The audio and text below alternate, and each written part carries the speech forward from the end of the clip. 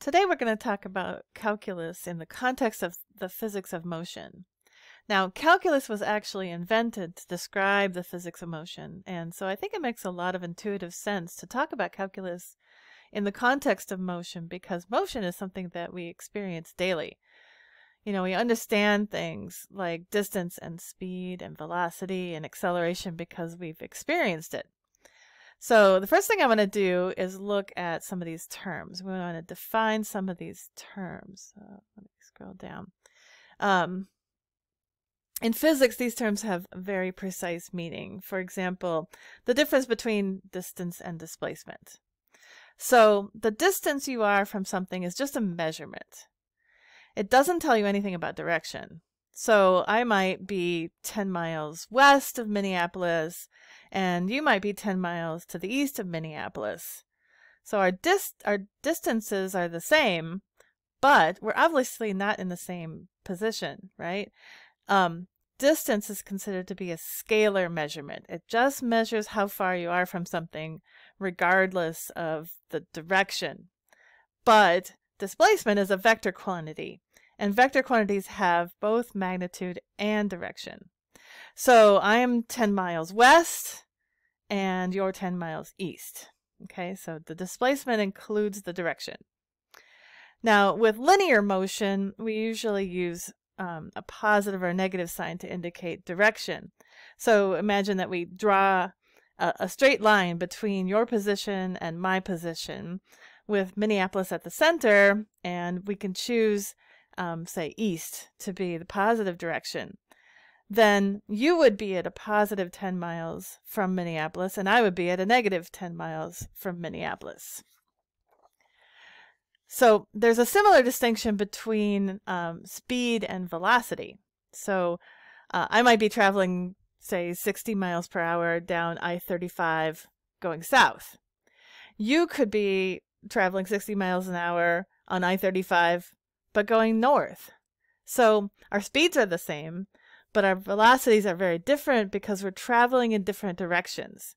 And velocity is a vector quantity, just like displacement. Ve velocity has a magnitude and a direction, whereas speed is just the magnitude of the velocity with no direction. Okay. And acceleration is also a vector quantity. It has a magnitude and direction. Now, notice that velocity is how uh, displacement is changing over time, and acceleration is how velocity is changing over time. So the derivative of your displacement is velocity, and the derivative of velocity is acceleration, which means that acceleration is actually the second derivative of displacement, right? So let me scroll down here to this next box here. So this is what this shows that um, the velocity is a derivative of displacement. So this s, s equals f of t, um, we're using s to to to um, as the variable for displacement. We could like to use d, right? but you can see that in our Leibniz notation, uh, we're already using d, right? We're already already using a d, so we're using s for displacement. So if we define the displacement to be f of t, then velocity is a derivative of displacement and then the magnitude. So again, if, if we're just doing if we're just dealing with motion in one dimension and we're using a positive negative sign um, to indicate direction, then uh, we can get the speed by just taking the absolute value of the velocity. And then acceleration is the second derivative of the displacement function. All right, let's take a look at this first example here. Oops, scroll to the right spot. Um, let me scroll there. Okay, so we have these different objects, A, B, C, and D, and they're moving on a number line. And um, the speeds and the directions are indicated by the arrows. All right, so let's take a look first at, at object A. All right, so object A, um, it shows the position uh, to be at positive 2 on the number line, right? Um, so we say its displacement is a positive 2. Now we could write a plus 2 if we wanted to. Oops, plus 2. Um, or we, but we don't necessarily have to put the plus on it usually. If we just write 2, obviously that means it's positive. Now its distance, right? That's its dis displacement from the origin is a positive 2. And if we take the absolute value of that, its distance from the origin is also 2.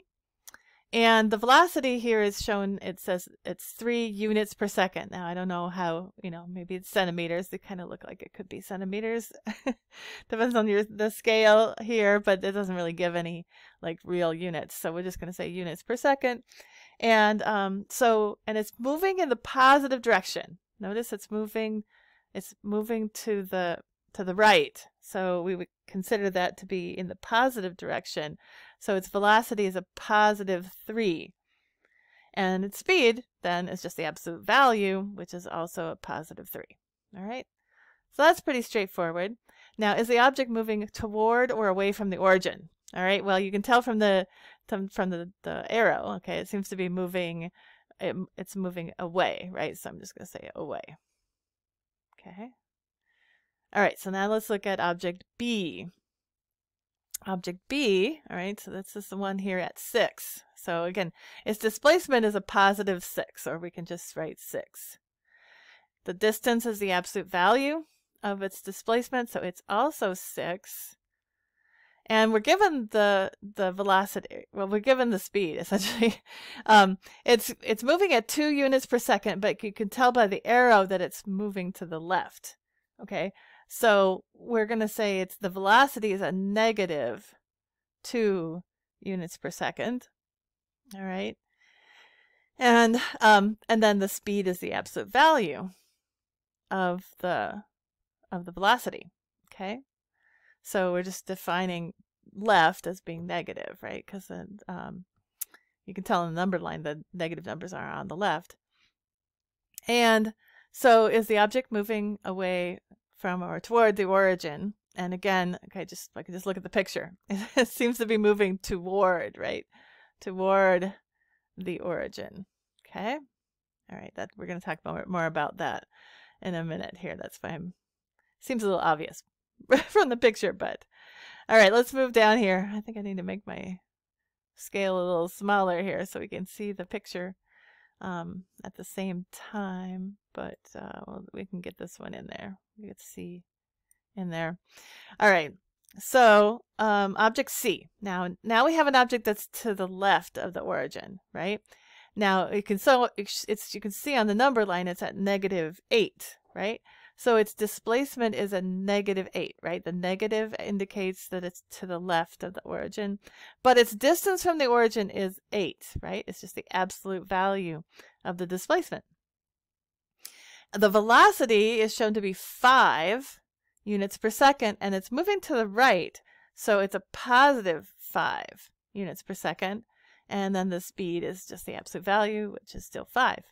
Now you can tell here I'm moving um, toward the origin, right? Because my displacement is negative, but my velocity is positive. So I'm moving toward, toward the origin. Okay. Um, and so um, you'll see that when the displacement and the velocity have opposite signs, you're moving toward the origin. Just like up here in, with object B, the displacement was positive, but the velocity was negative. So the displacement and the velocity have opposite signs, and we're moving toward the origin. Okay, we have one more here. Let's see here. I can scroll down here. I guess you've got the paper in front of you, so you can see the you can see the line. But um, all right, so object D its displacement, now it's the, the position on the number line is at a negative 3, right? So the displacement is negative 3, and its distance from the origin is 3, right? It's just the absolute value of the displacement. Its velocity, okay, so we gotta look at the arrow up here. Its velocity is one unit, or well, it's it's one unit per second to the left. Okay, so one unit per second to the left, we're defining left to be negative, so that is a negative one, and its speed is just one unit per second, right? It's the absolute value of that.